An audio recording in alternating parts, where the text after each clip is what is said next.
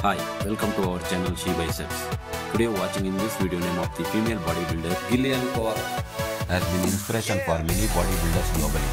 She is a physical therapist assistant and professional IFBB pro female bodybuilder who started her fitness journey with passion before becoming a global sensation. A bodybuilder, she always tries to maintain her body weight compared to her age, keep her body figure in shape.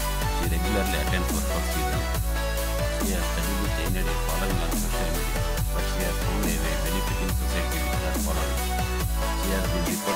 reported social media assistant inauthentic and across her platforms.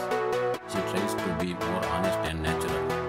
She also uses her platform to educate the public on the right ways to exercise and the right forms of diet and build muscle.